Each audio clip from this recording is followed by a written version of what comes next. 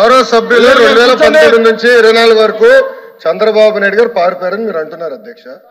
మీరు నాకు తెలిసినంత మీరు ఎమ్మెల్యే కాదు అనుకుంటప్పుడు చంద్రబాబు నాయుడు గారు హౌస్కి వచ్చారు. శాసనసభ సాక్షిగా నా తల్లిని అవమానించారు అధ్యక్ష. అది గుర్తుపెట్టుకోండి మీరు. గౌరవ సభతో వస్తున్నారు మా తల్లిని అవమానించారు. ఈ రోజు మీరు కావాలని పోస్టులు కూడా అట్టని పెడుతున్నారు. మా తల్లిని అవమానించారు ఆ రోజు.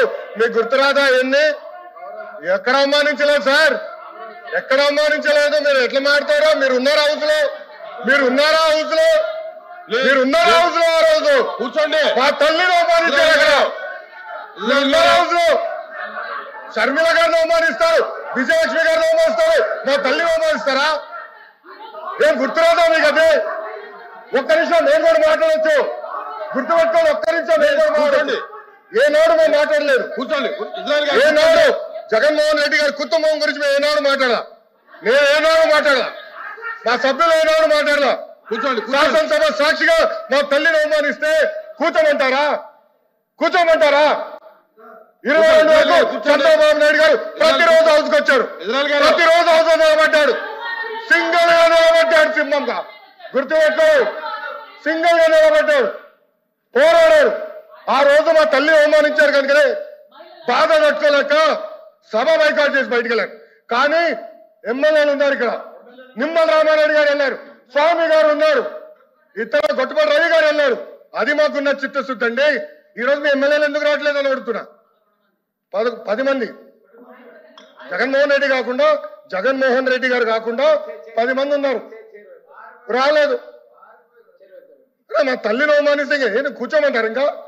మాట్లాడతాం మేము. మేము మనుషులు కాదా? ప్లీజ్ ప్లీజ్ సొంత తల్లి అవమానించారు సార్ ఆ రోజు.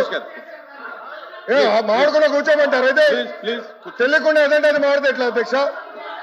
ఎందుకు ఆ రోజు బైకౌట్ చేస్తారో మాకు తెలుసు. నేను అక్కడే కూర్చోండి కూర్చోండి. కూర్చోండి. సార్ అధ్యక్ష. అధ్యక్ష సమర్థించట్లేదు అంటారు ఒక్క నిమిషం.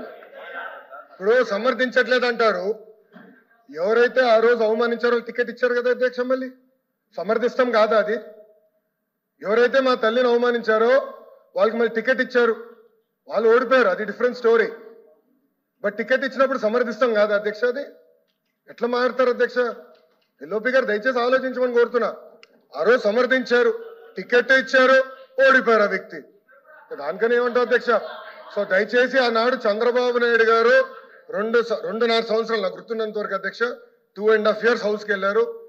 దాని తర్వాత ఎప్పుడైతే మా తల్లిని అవమానించారో అప్పుడే బయటకు వచ్చి వీడియోలు ఉన్నాయి. ఎవరేం చేశారో తెలుసు? రాష్ట్ర ప్రజలు ఆనాడు చూశారు. అంద అన్ని బయట ఉన్నాయి అధ్యక్ష. మళ్ళీ ఎందుకు సమర్థిస్తారో రాకపోతే అర్థం అవట్లేదు.